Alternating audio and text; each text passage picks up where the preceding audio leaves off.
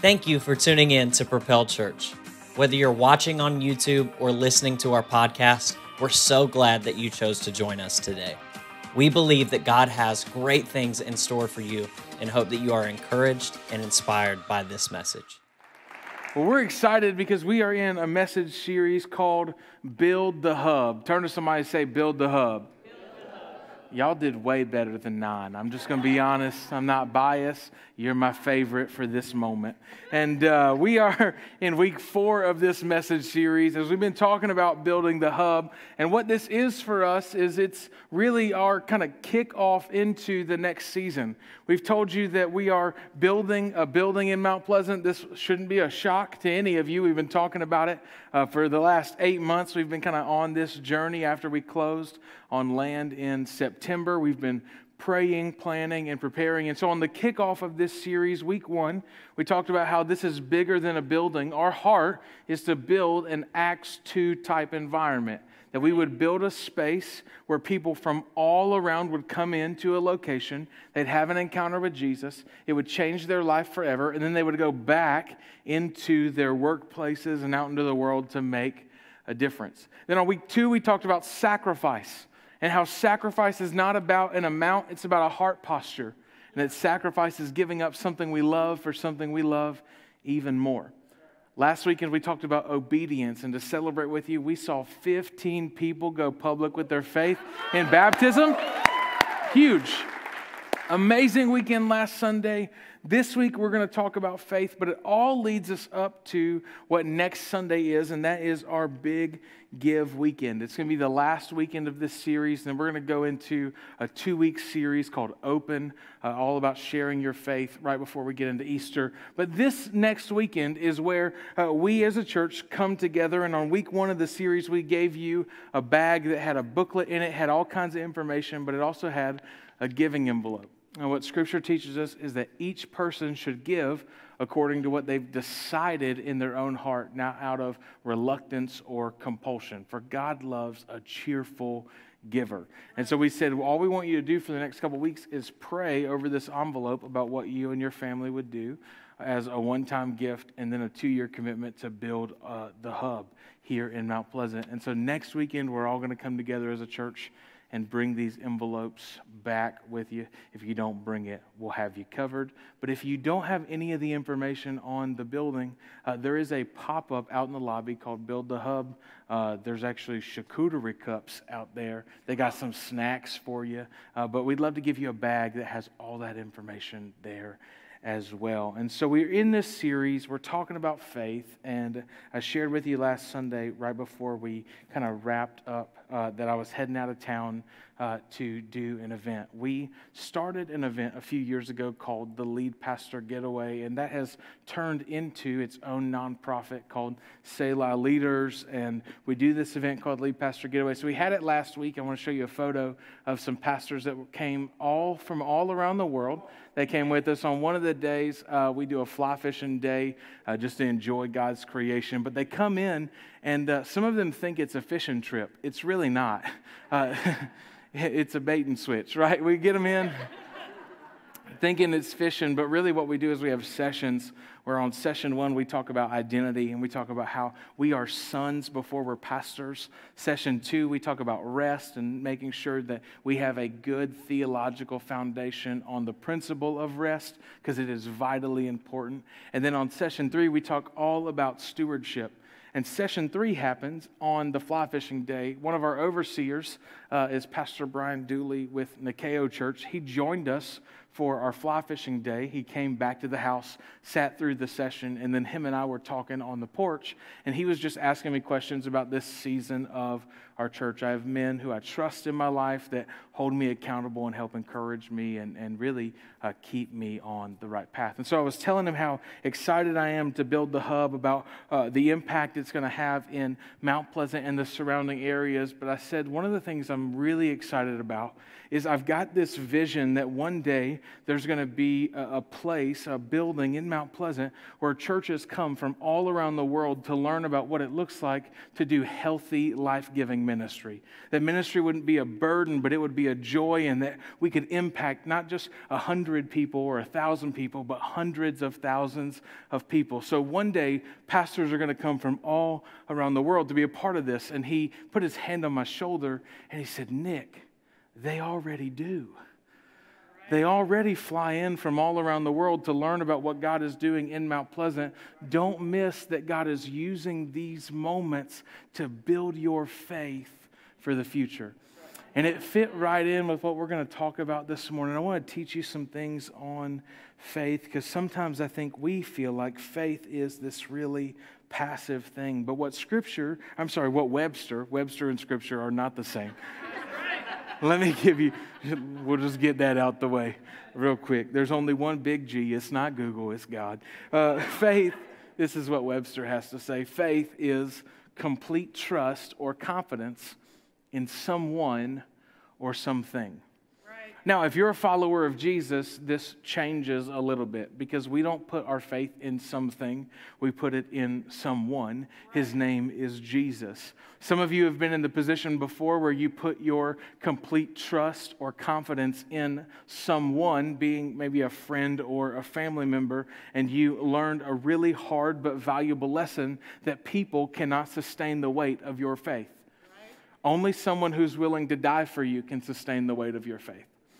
God is the one who we put our complete confidence in, our faith, our hope, and our trust in. And we're going to open up a passage of text today in 2 Kings chapter 3. If you have a Bible, you can turn there. It's in the Old Testament. It comes right after 1 Kings. Right before that, not super sure at the moment, but your Bible has a concordance. And so, 1 Kings, then 2 Kings chapter 3, we find the story of these three kings. And these three kings have been uh, getting prepared to fight the Moabites. They thought it was going to be a really easy battle. In fact, when they joined forces together, they outnumbered their opponent six to one. So if you have 600 people and they have 100 people, you don't think that it's really that big of a fight. You feel like you're going to just run all over the enemy. They were not just bigger or larger numerically, they had more training, they had more experience. By all accounts, this battle should have been a cakewalk, but it's not. When they go to fight, they find themselves losing. Things don't go as planned. As they march against the army of the Moabites in the desert, they run out of water. And they not only run out of water, the land has become completely dry. They are in the middle of a drought. So they call in the prophet Elisha to help them, and Elisha pretty much says, This sounds like a you problem, not a me problem. you know? It's like, you ever been there before where somebody brought you something and you're like, man, that, that seems really tough for you. I'm not sure how this involves me. But then Elijah comes to the realization that God has given him the opportunity to help these people. And so in 2 Kings chapter 3 verse 15, Elisha gives them the plan for what is to be done about the drought problem they're in. This is what the text says. But now bring me a musician. And then it happened when the musician played that the hand of the Lord came upon him. That, that's why um, we bring musicians out at the end of the worship experience, like at the end of preaching. It's because the hand of the Lord falls when music starts playing. That's just, that's just how it happens. And then it says this, and he said, Thus says the Lord, make this valley full of ditches for thus says the Lord, you shall not see the wind, nor shall you see the rain, yet this valley shall be filled with water, so that you, your cattle, and your animals may drink. This is a simple matter in the sight of the Lord. He will also deliver the Moabites into your hands. These men had experienced a incredibly large drought. If you've ever been in a drought, you haven't been in North Carolina. We're doing fine right now, right? But they're in a drought and there's nothing they can do. They've tapped out all their water resources and now they are believing that God is going to work on their behalf and send them some water. I think sometimes when we have faith for God to do big things, we just expect Him to do it. Yeah. But faith requires action. If you're taking notes, I want you to write that down this morning that faith requires action. They weren't just sitting around believing that God would send water or send rain. No, instead, the prophet says if you really want to see God do something, you're going to have to pick up a shovel. I think oftentimes we think faith is waiting on God, but it's actually digging ditches. Faith requires action. It requires you to pick up a shovel and partner with God and go to work, standing on faith that whatever He told you to do, your action will somehow correspond with the miracle you see God do. Right. It's not just sitting around and waiting on God. No, last week we talked about uh, obedience leading to breakthrough. And the way it happens is that you allow your faith to kick it into high gear and not just wait around for God, but to partner with Him. James teaches us that faith without works is dead. In other words, faith that has no action tied to it really isn't faith at all because the evidence of faith is my willingness to move. Yeah. Faith requires action. It doesn't make sense what God told them to do. I would think that if, if I was looking at the story, it would, it would kind of be like, okay, you need water, we're going to pray for water. We actually see that in other portions of Scripture. They needed rain, they prayed for rain. Instead, the prophet's really clear that, hey, if you want water, go dig a ditch.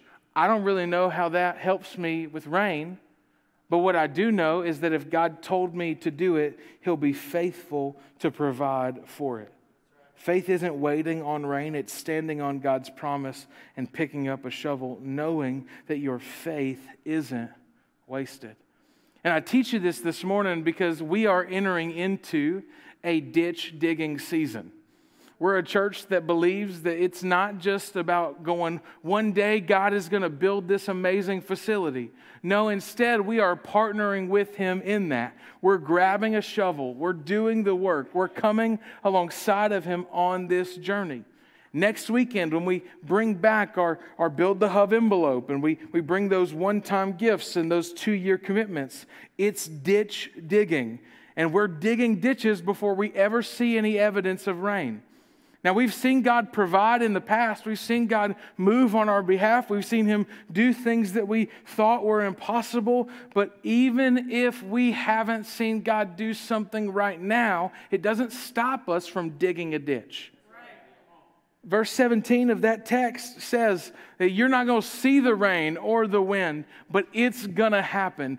That's what faith does. Faith doesn't wait to see results, faith chooses to move before you ever see anything come to pass.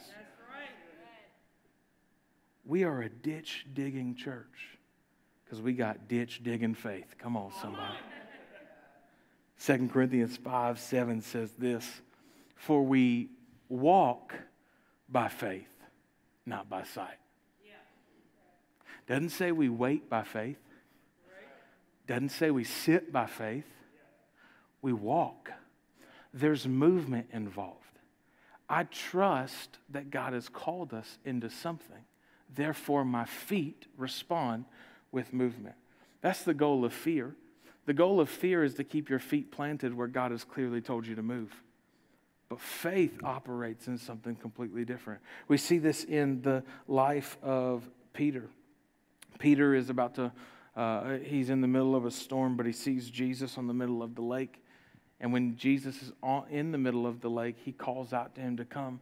Peter uses courage to hurl his legs overboard, but then uses faith to literally walk on water. I don't know what kind of word or encouragement you need today, but I want to help build your faith because of the things we've seen God do in the life of our church. It required action every single step of the way. It took faith in 2015 to plant a church in a town of 1,800 people, but God ordained it. It took faith in 2017 to cap our salaries at 35% of our budget and choose to give a minimum of 12% of our budget to missions and outreach, but God honored it. It took faith in 2018 to move our church to two experiences, not because we had no more space, but because we had vision that was bigger than what we were currently experiencing, and God sustained it. It took faith to move in an old middle school, but God orchestrated it it took faith to try and regather to raise money to buy an HVAC system in the middle of a pandemic so you didn't die from an airborne virus, but God supplied it.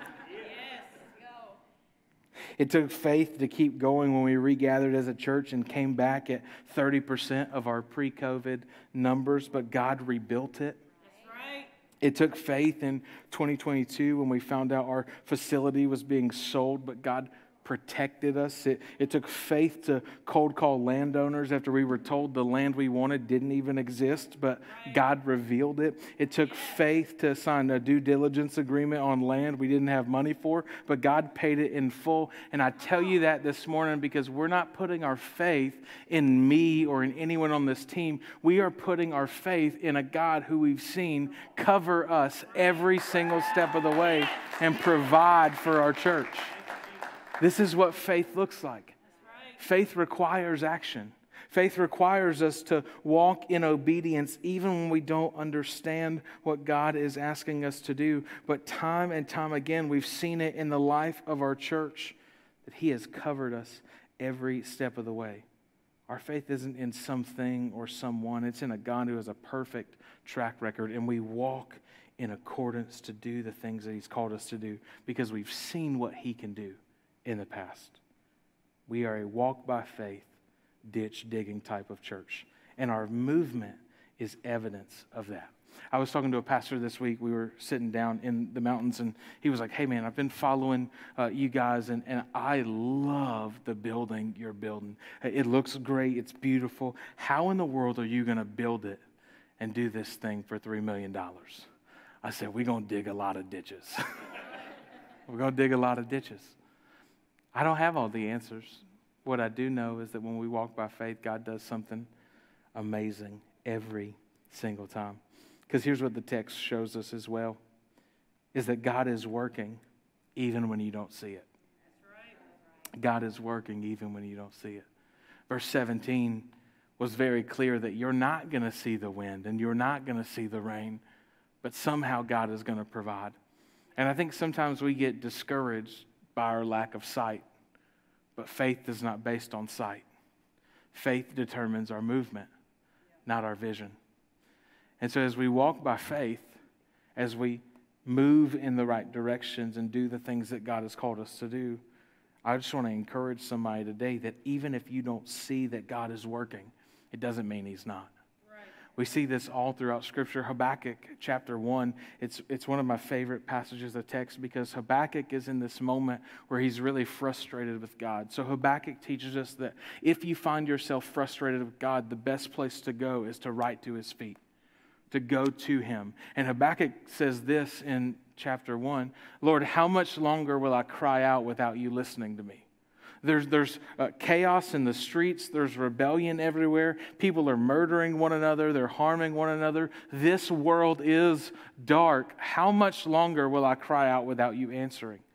In verse 5 of chapter 1, God responds to Habakkuk and says, Look around and be amazed, for I'm doing something in your day that even if I told you, you wouldn't believe it.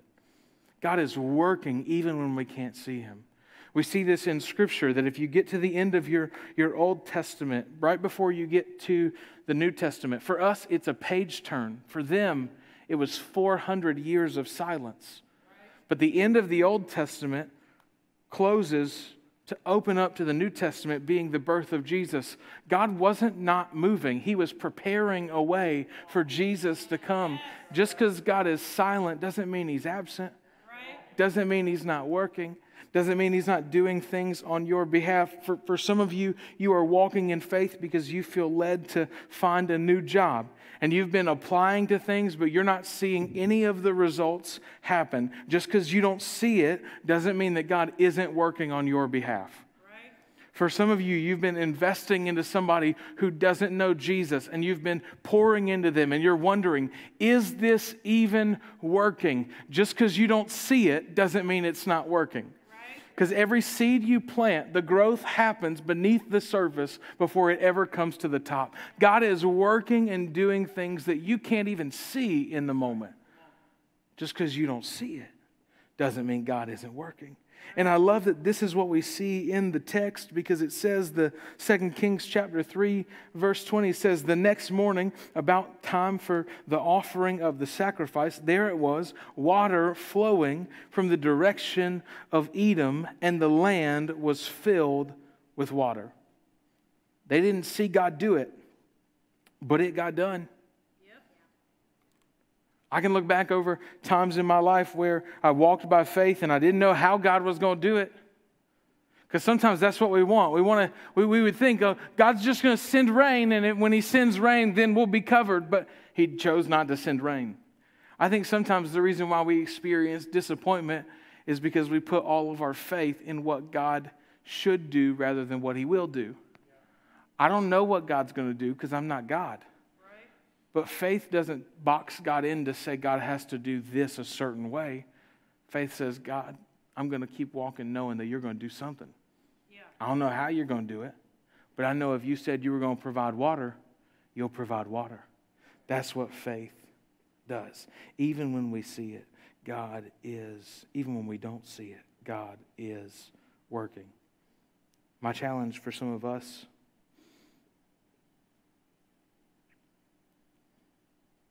is to not wait before we start moving.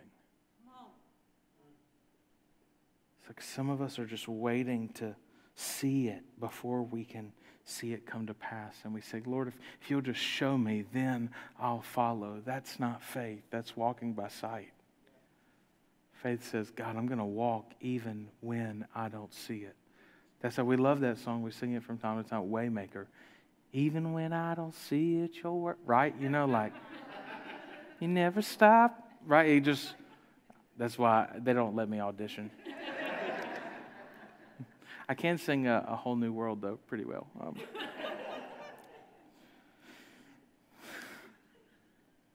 the challenge is to not wait, to not wait for all the answers before you start moving. And that's kind of where we've been as a church in this last season and the one we're walking into now, we don't feel like build the hub is a cute saying or an expression. We really feel like it's the word that God's given us. So we're doing our part to dig ditches, knowing that God is faithful to cover what he calls. Now, don't miss this in the text. What they're able to receive is based on the ditches they dug. So God's going to send the water. But the harvest is always based on your stewardship. The harvest is based on what you're willing to do. That's why Jesus says in Scripture that the harvest is plentiful, but the laborers are few. The church never has a harvest problem, it always has a labor problem. In this text, the way you go from having a puddle worth of water to a pool is you dig a ditch you do the work.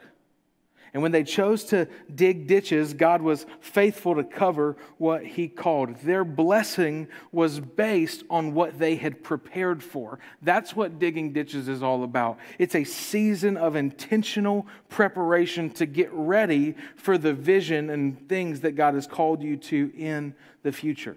And so we've told you this whole time that our plan is to build a $3 million facility, splitting it 50 50. We're going to uh, finance 1.5 million and we're going to raise 1.5 million. You're already a third of the way there on raising uh, that $1.5 million.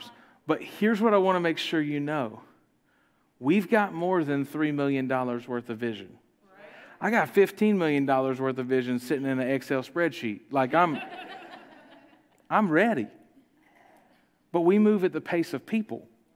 We move at the pace of those who are willing to dig ditches. If, if we come together as a church next week and we blow that $1 million that we need to raise over the next two years out of the water, we're not going to be confused with what to do with it. We've already dug the ditches in the background. We've already said if we if we raise more than this, here's what we'll do. And we know all the steps accordingly because we never we never let money drive vision. Vision drives where we put money.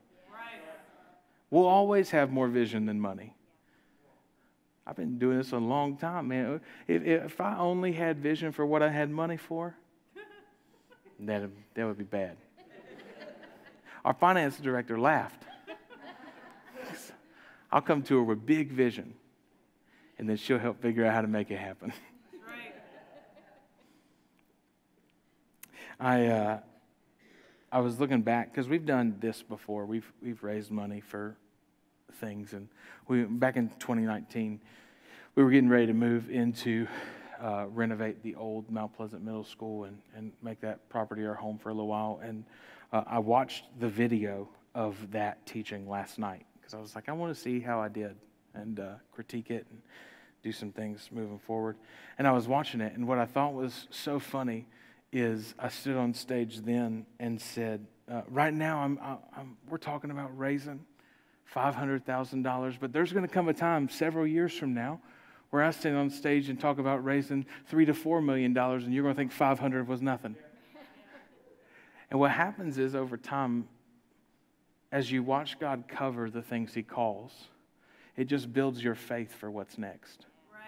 Like as you watch God provide for you in one season, you end up creating these. Well, this is what they did in the Old Testament: is they built these little monuments out of rocks and they would stack these rocks up and, and they did it so that as their kids grew up and asked what is that for they would say this is a monument to testify about the faithfulness of god They'd, they'd put them every uh, so often along the journey so that when they looked back, they could look back and see this monument that they built to honor God. And when they looked back, they would see that if God covers us in the past, we know He's going to cover us in the future.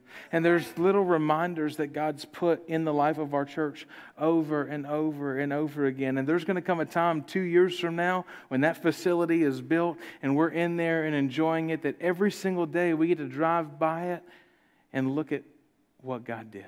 Right.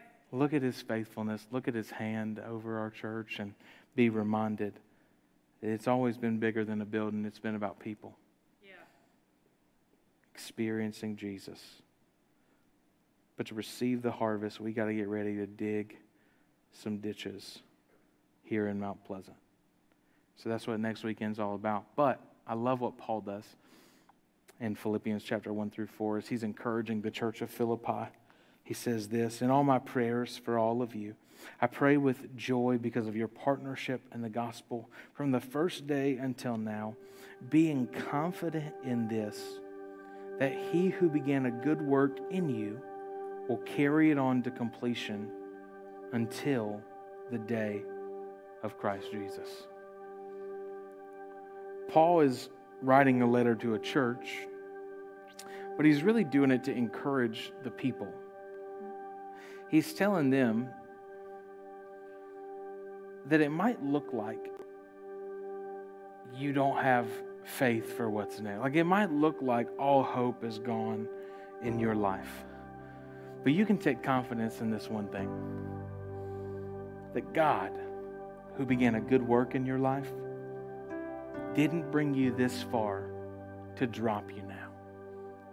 The God, who started a work in your life, who loved you enough to send Jesus to die in your place, isn't just going to drop you. He's going to be faithful to cover you and sustain you and to lift you up in your time of need. He who began a good work will see it to completion because we serve a God who finishes what he starts. Now, God has no obligation to finish the thing you start, but He is faithful to finish what He starts. I've seen that in my life, I've seen that in our church. Listen, buying land in Mount Pleasant was, was not my plan in 2021. In 2021, I was getting ready to, to reveal to some of our leaders that we were going to build a, we were going to try and buy the property we were in, which we had been trying for years, but we're going to buy the property we were in. We're going to build a brand new facility on the softball field. And we didn't have the money to get building designs like we've shown you for this one. And, and so I bought the design software. I designed us a whole building. Had to learn all these architectural measurements, and I know why they get paid good money now. It's, a headache. Did all that stuff, and then found out that wasn't going to be our home. So we walked in faith. God, I don't know where you're taking us. But what I do know is that you didn't have us regather post COVID to let it fizzle out like this. You didn't call us to Mount Pleasant in 2015 just to drop us now. Like you, you did all this stuff. We know you're faithful to finish what you start. So I don't have all the answers, but what I will do is I'll keep walking in faith. And over the last year, I stood on stage literally a year ago, this time. It was this Sunday, 365 days ago. I said, The building we're in is no longer the right fit for us. We're going to go on the hunt for land. One year later, we found it. Land that didn't exist. If you'd have told me we'd have bought land in cash a year ago, I'd have laughed at you. Because because we have always been a church that met budget but never blown it out the water. And when we've done things in the past where we challenge people to give above and beyond, we've seen some some fruit, but in all honesty, it's really just it's been the leaders in our church who have stepped up to the plate. But over the last 12 months, we, we had the opportunity to buy land and God's faithful. He's been so faithful. And so, as we enter into this next season, I wanted to teach you this message today because if you're a part of Propel Church, this isn't just to build my faith. We are in this thing together. This is to build your faith. God is building your faith through the church He planted you in to know that as you and I enter into this next season, He's covered us in the past and He'll cover us in the future. And so next weekend, when we come in together, I'm not telling you what size ditch to dig, but I am asking you to grab a shovel. This is not about equal giving, it's about equal participation. We are coming together as a church to dig ditches and believe God for amazing things. And when we do that, what we know is that He will provide every step of the way. But the greatest thing that God ever provided was not a building, it was a person and his name is Jesus. And God knew that you and I would be stuck in the midst of our guilt and our sin and our shame. We'd be stuck in bondage and captivity. So God chose to send Jesus to live a sinless life, to pay the penalty and the price for your sin. So that if you put your faith in Him, if you put your complete trust and confidence in His payment, you and I could be saved. It's not complete faith or complete trust in being a good person or complete trust in perfect church attendance, complete trust in doing enough good things or giving enough money and then we'll be saved. It's only faith in Jesus that He was enough, He died in your place, He died in mine. And when we put our faith and hope in Him, the harvest is that that river that flowed from Edom now flows within us. John 4, Jesus says there's going to be a living water like a stream that runs within you, giving you eternal life. That's what happens when we put our faith in Jesus. So, with every head bowed, every eye closed around the room today, maybe there's some of you in here who you've put your faith in the wrong thing. You've put your faith in your own abilities. You've put your faith in your efforts. You've put your faith in anything other than Jesus. Maybe you put your faith in people. But if you feel prompted today to put your faith in Jesus, would you just lift your hand for a moment and say, That's me? Here's what we're going to do, church. Nobody prays alone. We all pray together. Will you repeat this after me? Dear Jesus, today I give you my life. I place my hope and trust in you. Thank you for dying in my place. so that I could have new life. In Jesus' name, amen. Hey, thank you so much for checking out today's message at Propel Church. We pray that God spoke to you powerfully. And if you made any kind of decision to accept Jesus Christ as your Lord and Savior, or recommit your life to Jesus, or maybe you just want to share something that God spoke to you through today's message, do us a favor and send us an email to amen at propel.church. And if God is using this ministry to impact your life and you'd like to partner with us financially, you can do so over at propel.church slash give. We pray God's blessing and favor over your life and believe that the best days have yet to come.